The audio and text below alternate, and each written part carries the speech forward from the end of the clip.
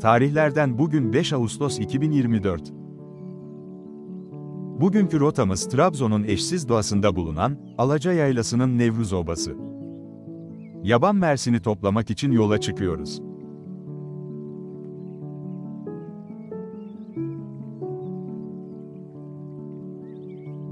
Çocukluğumuzdan beri, büyüklerimizin bize anlattığı bu güzel doğayı keşfetmek ve sizlere tanıtmak istiyoruz.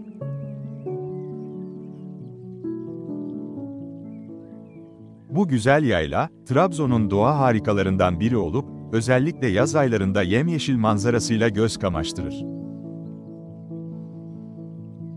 Yöremizde yaban mersinine, çoban çileği, denir ve bu lezzetli meyveyi bulmak için çıktığımız bu macera, bizi Nevruz Obası'nın derinliklerine doğru götürüyor.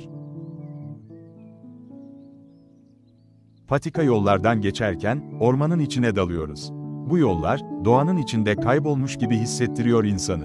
Her adımda çam ağaçlarının kokusu burnumuza gelirken, kuş cıvıltıları da bize eşlik ediyor.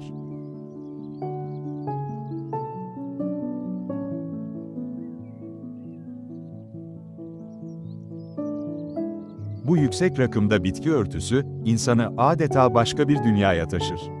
Yürüyüşümüz sırasında patikaların yanı sıra, bazen sık ormanların arasından geçiyoruz. Bu yollardan ilerlemek, hem sabır hem de dikkat gerektiriyor. Ancak yaban mersinine ulaştığımızda tüm bu çaba karşılığını fazlasıyla veriyor.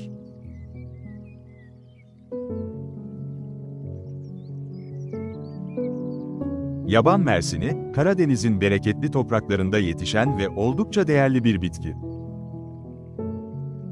Özellikle Temmuz ve Ağustos aylarında bu bölgelerde bolca bulunur. Yaban mersini hem tadı hem de sağlığa olan faydalarıyla bilinir.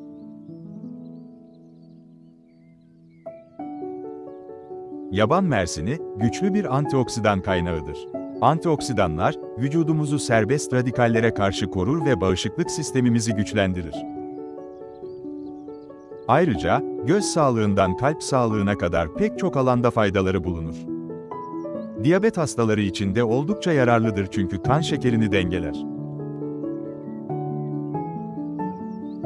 Yaban mersinini toplarken dikkat etmemiz gereken birkaç nokta var.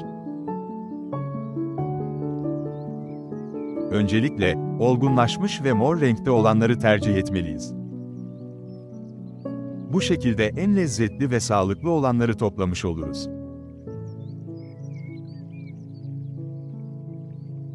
Yaban mersinini toplarken, doğaya zarar vermemeye özen göstermeliyiz.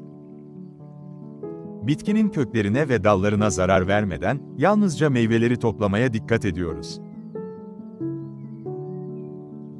Böylece gelecek yıllarda da aynı yerden meyve toplayabiliriz.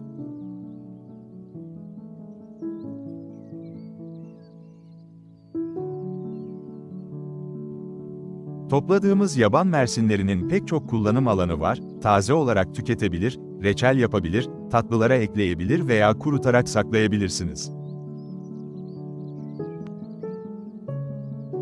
Yaban mersini, özellikle kahvaltılarda yoğurt veya müsli ile harika bir lezzet katıyor.